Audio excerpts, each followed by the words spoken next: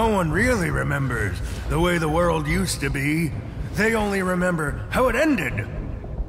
Now, friends, neighbors, the world is filled with terrible monsters and treacherous villains.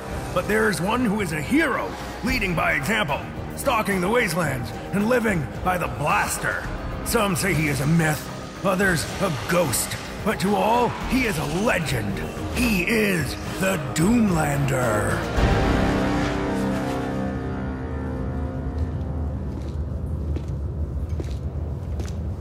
This forgotten place is haunted. Before the asteroid hit, people used to live in this colony. But what was once human in this place is now inhuman. It's a trap. Could probably smell me from miles. That's okay. I've got surprises of my own.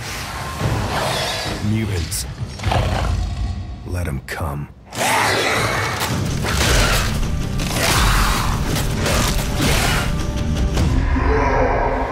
I've seen tougher. Out of darts.